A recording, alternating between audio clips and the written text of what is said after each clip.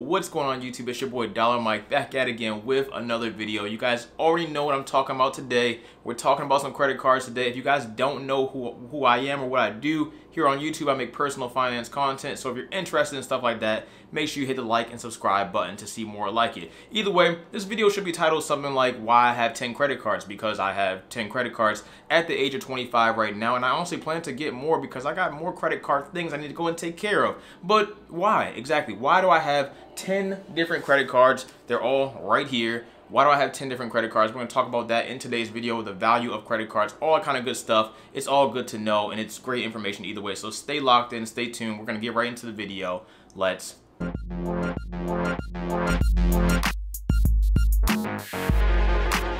So yes, 10 credit cards at the age of 25. I just got my 10 credit card about two weeks ago that is known as the Best Buy card, the Best Buy rewards card, whatever you want to call it. Um, it's a solid card, honestly. I haven't talked about it before. It's a great card that I should have gotten before, but I was too busy worried about getting my Chase Sapphire and all the whole Chase cards regardless. But you guys know the deal. If you guys have seen my previous videos talking about credit cards, you guys know I have a lot of credit cards. You know why I use them. But for the people that don't know, this video is exactly for you, and I do plan on still getting more because I have more options coming forward. Either way, I'm not gonna waste your time trying to beat around the bush and give you all these different examples and stuff. I'm gonna tell you straight how it is. Why do I have all these credit cards? Honestly, the reason I have all these credit cards is to simply max out the rewards and point bonuses and free travel and free stuff that I get from actually getting every last one of these credit cards and using the benefits that these credit cards provide to me. For instance, the Best Buy credit card right here, because we have examples, solid examples. The Best Buy credit card right here offers me either 5% cash back on my purchases that I make from Best Buy, or I can go ahead and use make a big purchase, maybe buy a new TV, which I did, check out the vlog channel, buy a new TV, a sound system, all kind of stuff for a couple of thousand dollars, and then I don't have any interest to pay for for the next 18 months. So as long as this card is paid off within the next 18 months, I have nothing to worry about and I pay exactly how much I want to pay instead of pretty much putting up $3,000 to buy a TV, sound system, and whatever else I want to buy from Best Buy at that given point. This is the Bank of America Cash Rewards credit card. This is actually my first credit card ever, a solid credit card if you're interested into getting into this credit card reward bonus things.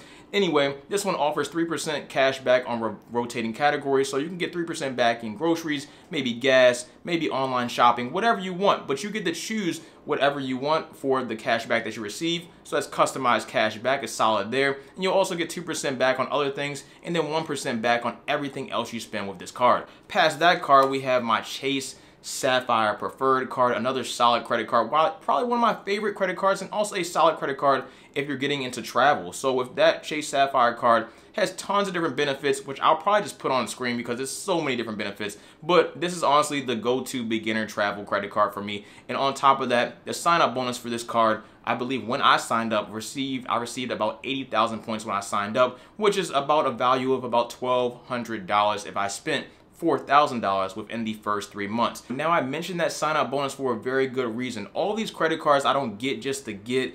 Obviously, I have a purpose behind getting them. Usually it's just for the points and stuff like that. And other times it might just be a benefit for myself. But in the Chase Sapphire reason, I was starting to travel a little bit more, so sure. But the sign up bonus is actually a great reason to get a card. But it's only a great reason to get the card if you're actually going to use that sign up bonus and actually spend that money that you would need, normally spend anyway. You just put it on the card. So if I had to make a $4,000 purchase or spend $4,000 over the next three months on something. I don't know what's coming up for me personally. I actually do have to do it personally, but I don't know what's going on with you. If you do have to go ahead and make a huge purchase coming up or just a lot of purchases that would equal up to that amount of money, then go ahead and put it on this Make sure you pay for it on time in full every single month to cover yourself so you're not paying any interest simply because you're going to get free bonus rewards points from it. You're going to get all the other benefits that this card provides. Purchase insurance through actual insurance companies, maybe car insurance, maybe luggage and travel insurance. It all matters. It all depends on whatever card you got. But this particular card, like I said before, is a travel card. So it has a lot of travel perks. Hotel uh, reimbursements, hotel rooms every single year, free rooms, free hotel credit. It's all covered. It's all on this card and it's on other cards as well if you're interested. Literally with my Chase Sapphire Preferred and my Chase Freedom Flex, all the points that I received from this card, I have not used any points on either one of these cards since I've gotten these cards. And all the points I have on there can literally pretty much fly me anywhere in the world on a business class flight, plus a whole bunch of other amenities and perks just from using using the points, redeeming the points on money that I was spending anyway. Everything that I got these cards for, every reason I got these cards for is money that I was going to spend anyway and it just gives me more perks and it'll do the same thing for you as long as you use them correctly. And I made tons of credit card videos already on the channel before, so definitely check those videos out. It'll be linked right up there in my credit cards playlist. But yes, we are at 10 credit cards at 25 now, and I do have to make another purchase soon, so we'll probably be at 11 not too far from now. On top of that, when I do take that nice business class trip for free wherever I want to go in the world. I do plan on documenting that and it'll likely be on the second channel, link right up there. Now, if you're just watching one of my credit card videos for the first time, maybe somebody else, maybe you want to get into credit cards, you're doing your research on credit cards, trying to figure out what you really want, what you need, what's going to work best for you. Do you may be wondering, why do these banks actually allow people to go ahead and get free travel from using their cards? Like, what's the point of that? Don't banks lose money from that? And I guess you could say, yes, they do, but nothing is actually free. Even though I said you get those free bonus points or free rewards points, it's not free because you still have to spend money. But the thing that makes it great is when you use the credit card the right way, you're going to spend that money anyway. So all these credit cards that I got, this one's the Apple card right here. But all these credit cards that I got, like I said, I'm buying stuff that I'm going to buy anyway. I'm not spending any extra money that I wouldn't normally spend. And that's the whole point. I'm going to pay for it because I can afford to pay for it. You don't go and pick up a credit card, get a $10,000 limit, and not pay for it because you just think it's magically going to pay for itself because it's not. And then you're going to have to pay interest. If you don't pay the interest, then your credit score is going to be shot. And if your credit score is going to be shot, then you're probably not going to be able to do a lot of other things with your credit, like get an apartment, get a house, get a car loan, do whatever you want to do, maybe insurance depending on what insurance company you go with, anything. And having bad credit is not a good way to live your life, I can promise you that. So number one, credit card companies and banks do not just give you free stuff, you have to spend money to make significantly more back versus spending your regular money, which you probably won't get anything back. So that's number one. It's not free, but it is free if you use it the right way. Number two is that they want your business. If you open up a maybe an Apple card or maybe you open up a Chase or get the Best Buy card,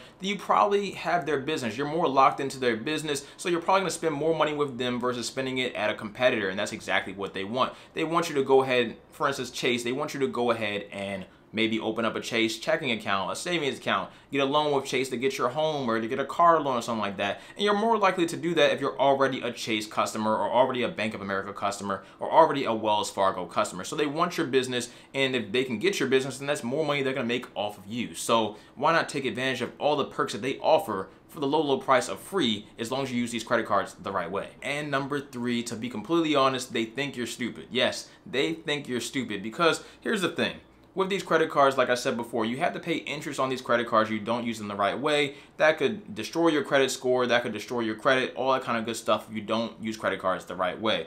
And I have a perfect example here. When I first got this card, this is known as the Barclays View credit card. I simply use this credit card to pay like two bills right now, my LA Fitness membership and like something else. I can't really remember what else I use it for. But the whole point is, when I got this credit card originally, this was the Uber credit card. The Uber credit card turned out to be a fail for Uber pretty much because we were making money. I was making a lot of money from the Uber credit card, but they weren't making a lot of money off of me, so they had to go and rebrand the card, and it's just that simple. Whole point is when they rebranded the card, I had about $3,000 limit I think three or four thousand dollar limit on my Uber credit card. When it got rebrand, rebranded to the Barclays View credit card, they upgraded my credit limit from three thousand to ten thousand dollars. I didn't ask for this; they just did this on their own. Three thousand dollars to ten thousand dollars. So for someone that's young, that might not understand credit, that might not really have the best personal finance skills or manage their money well, going from a three thousand dollar limit or even a thousand dollar, going from a three thousand dollar limit to a ten thousand dollar limit is a huge deal because